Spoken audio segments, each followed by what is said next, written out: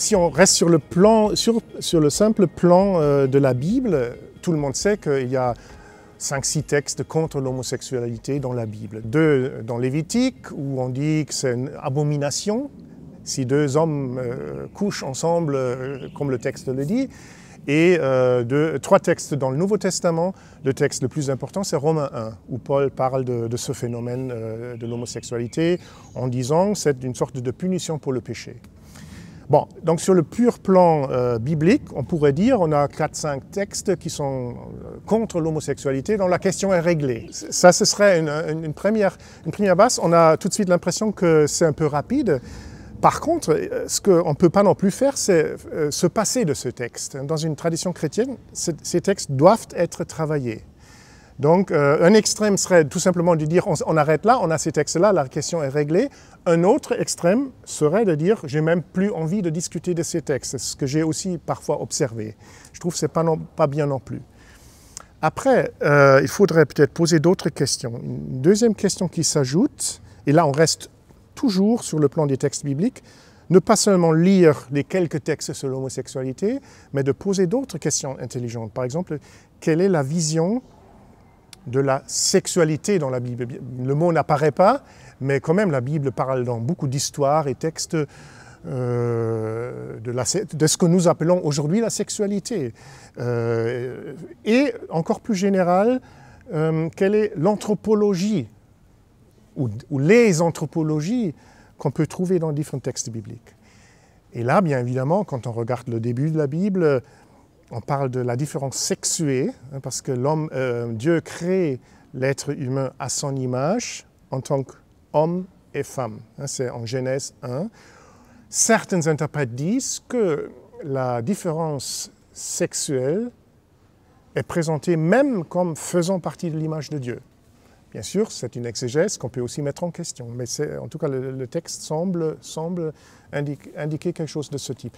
Donc, sur ce plan-là, on pourrait peut-être quand même dire que dans les textes bibliques euh, se dessine l'opinion que l'altérité sexuelle pourrait être important pour l'humanité.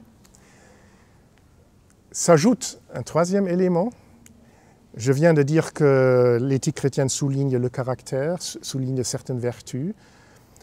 J'aimerais juste citer deux vertus importantes pour le christianisme. Première vertu, c'est vivre dans la vérité.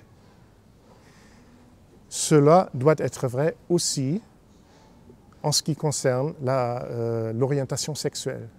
Donc je pense une première chose qu'on devrait dire dans l'éthique chrétienne, c'est qu'il doit être possible dans la communauté chrétienne de parler vrai à propos des orientations sexuelles. Si, une, communauté chrétienne euh, fait croire qu'il faut cacher, par exemple, son orientation homosexuelle, quelque chose ne va pas bien. Parce que là, on n'est plus dans la vérité. Euh, la deuxième vertu que j'aimerais souligner, c'est la euh, générosité. C'est une vertu que j'aime beaucoup, qu'on trouve souvent dans les textes bibliques. Déjà dans la création, la création est tout simplement généreuse. Jésus, dans ses attitudes vis-à-vis -vis des pécheurs, euh, en, changeant l'eau dans, dans, le vin, euh, voilà, il est généreux tout simplement. Et je pense que cette générosité doit, doit s'exprimer aussi dans nos relations euh, au sein de l'Église et aussi par rapport à cette question. Donc dans aucun cas on peut être dans une attitude de fermeture, d'exclusion, etc., etc. Maintenant, euh, on a différents éléments. On a les textes contre l'homosexualité, on a euh, ce que j'ai appelé l'anthropologie biblique qui parle quand même souvent de l'altérité sexuée ou sexuelle. On a des vertus euh, qui nous indiquent qu'il faut, faut vivre dans la vérité et il faut accepter l'autre tel qu'il est. Et cet exemple, cet ensemble de paramètres rend la question difficile. Et je pense que c'est la raison pour laquelle il y a différentes opinions. Il y a certaines communautés qui restent plus proches d'une première exégèse des textes.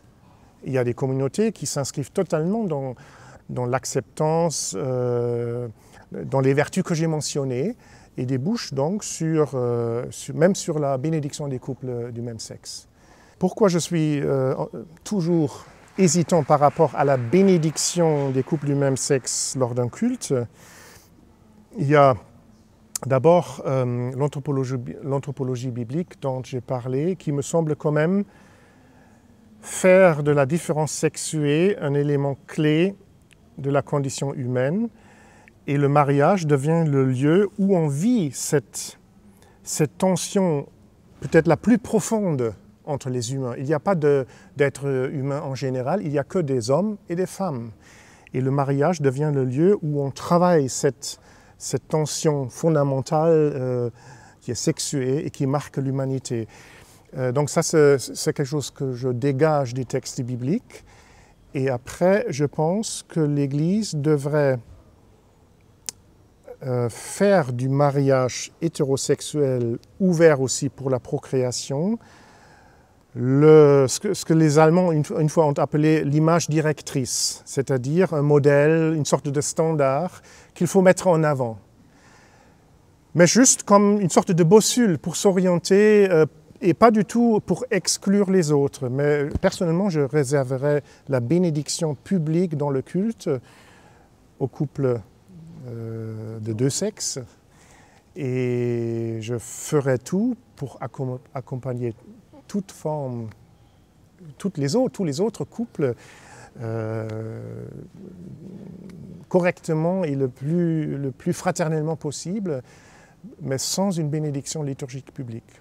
Mais je sais que c'est une opinion personnelle qui est loin d'être partagée par tous les protestants.